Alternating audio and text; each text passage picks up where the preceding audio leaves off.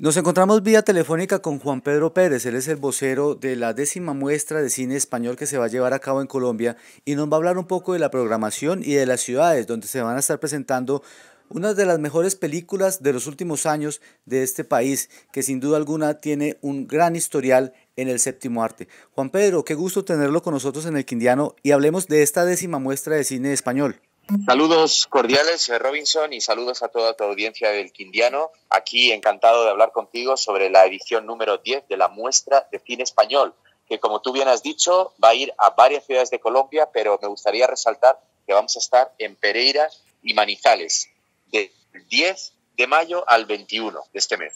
Bueno, hablemos precisamente de qué vamos a tener aquí en esta muestra, algunas novedades cinematográficas, porque sabemos y lo que hemos visto en el catálogo es que hay también una presencia importante del cine documental y un tanto étnico, ¿no? Un tanto salido de lo convencional que estamos acostumbrados a tener de España. Bueno, eh, en esta muestra de cine español vamos a tener, digamos que cuatro secciones o cuatro ventanas. La primera está dedicada a los estrenos, que yo creo que es lo que el público colombiano está esperando, porque sabemos que el cine español eh, contemporáneo tiene dificultades en poder eh, ser visto en los circuitos comerciales, pero también tenemos una sección de cine dedicado al director Carlos Saura, uno de los directores de cine más importantes de España que falleció este año y por lo tanto queremos rendirle un homenaje a través de la proyección de varias de sus películas.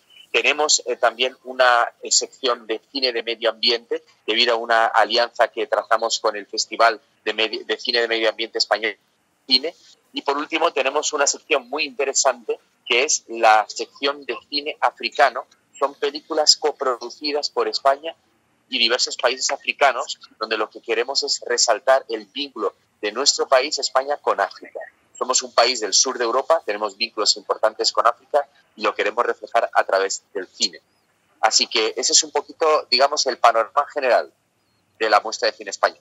Bueno, veo aquí también precisamente en, en, en la noticia que tienen ustedes también una apertura muy grande con ciudades no tan centralizadas en Colombia. Y hablamos, pues, ya que usted está tocando el tema del cine africano y la coproducción que ustedes han logrado allí con ellos como país, estamos hablando de Tumaco y de ciudades como Villa de Leyva, que no son muy tenidas en cuenta en este tipo de certámenes culturales internacionales, al igual que Montería. Se salen un poco ustedes de Bogotá, Medellín y llegan a estas provincias con este tipo de cine un poco más, eh, digamos, estilizado en cierta manera. Sí, tienes toda la razón. Efectivamente, esa es una de las características principales de la muestra de cine español. No nos quedamos solamente en las principales ciudades o en la capital. Es verdad que vamos a Bogotá, Medellín, a Cali, a Barranquilla, Cartagena, pero también queremos ir a ciudades donde normalmente no suele haber eh, eventos culturales con tanta asiduidad. Y efectivamente estamos muy, muy orgullosos de estar en esas ciudades que tú acabas de mencionar, en Villalba, en Montería y en Tumaco efectivamente, una vista especial hacia el Pacífico colombiano, hacia el Atlántico. Y por supuesto, tampoco nos olvidemos del eje cafetero. Así que estamos también y en Manizales, lo reitero una vez más. Bueno, quería preguntarle a ustedes el año de la pandemia, que fue un año donde se paralizó parte del mundo en el tema de la cultura. ¿Ustedes tuvieron alguna interrupción durante ese consecutivo de festivales que llevan haciéndolo en Colombia? Sí, efectivamente. Eh, Lamentablemente, en 2020 teníamos previsto la muestra de cine español entre el mes de finales de abril y mayo y lo tuvimos que suspender, aunque lo pudimos hacer una serie de proyecciones em, eh, virtuales eh, gracias a que nos cedieron estos derechos de proyección y también pudimos llevar a cabo una agenda académica que tengo que decir que tuvo muchísimo éxito, muchísimo alcance. Yo creo que la pandemia nos enseñó a todos a utilizar los medios, los medios digitales y, nada, y eso fue muy interesante. En 2021 no tuvimos eh, muestra de cine español eh, porque, bueno, consideramos que efectivamente el cine en sala pues mm, estaba muy dificultado, no era el momento todavía y volvimos a empezar en 2022, el año pasado, eh, fuimos a cinco ciudades y este año pues estamos por supuesto creciendo con estas 10 ciudades y más de 15, 16 salas con también aproximadamente unas 27 películas. En fin, es un esfuerzo, es un esfuerzo organizativo muy grande, pero que hacemos con enorme ilusión, porque la muestra de cine español es la actividad cultural más emblemática de la Embajada de España en Colombia. Juan Pedro, quería preguntarle precisamente cuando se habla un poco de ese tema de la pandemia, de lo que vino después, ¿tienen pensado ustedes de pronto dar la posibilidad de que algunas de esas películas se puedan ver en plataformas en las ciudades donde no llega la muestra? Pues mira, la verdad es que no, no te confieso que no, porque mira, los derechos de las películas eh, que nos eh, venden las distribuidoras eh, son solamente para proyección en sala, formato DCP o formato DVD o Blu-ray. Eh, no tenemos en este caso, en el marco de esta décima edición de la Español, películas proyectadas en modo virtual o digital, pero sí que durante el año, eh, de vez en cuando, proyectamos eh, ciclos de cine por vía virtual.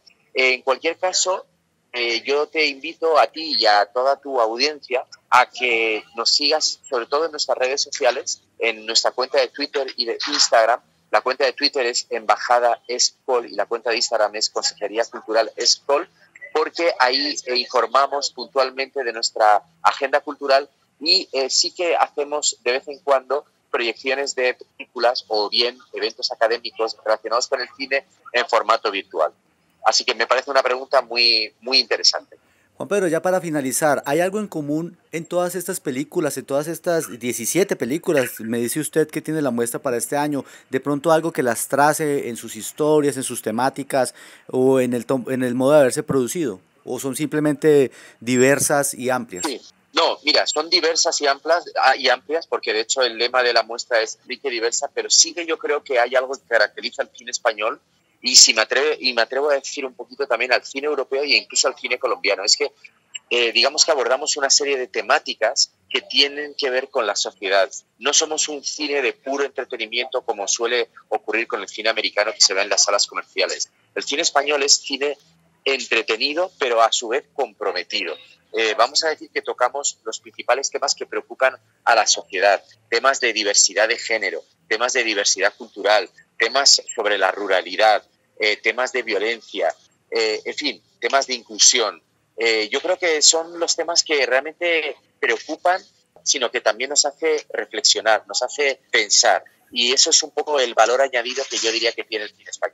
Sí, y precisamente también el tema del medio ambiente, porque recordemos que muchas de estas películas, sobre todo en las coproducciones africanas con España, pues lo que estoy notando en el catálogo es que hay mucho compromiso con el medio ambiente, que es algo que hoy en día importa a toda la humanidad. Absolutamente, el medio ambiente es uno de esos temas que he estado, digamos, refiriéndome justo anteriormente. Es, es un tema fundamental para España, para Colombia, para el mundo entero, y creo que el cine es un vehículo perfecto para trasladar los valores y los principios que la sociedad tiene que respetar.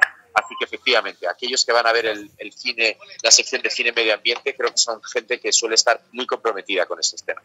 Juan Pedro, ¿estas entradas para ver las proyecciones no tienen ningún costo o las personas tienen que inscribirse o algún pago en particular? Bueno, en algunos lugares las entradas son gratuitas, en otros hay que pagar, pero son precios, eh, son precios bajos, subvencionados. Eh, muchas de las salas eh, exigen el pago de una entrada para poder cubrir los costos. Entonces, eso es un poco la respuesta. Yo de todas maneras eh, invitaría al público a que visite nuestra página web pcecolombia.com, donde aparece no solamente toda la programación y las salas, sino también aquellas salas donde se ofrece la entrada gratuita y aquellas en las cuales hay que pagar. Él es Juan Pedro Pérez, vocero de la décima muestra de cine español en Colombia, que se va a llevar a cabo del 10 al 21 de mayo en diferentes ciudades colombianas. Juan Pedro, muchas gracias por estar con nosotros en elquindiano.com. Muchísimas, muchísimas gracias a ti, Robinson. Un saludo a toda tu audiencia.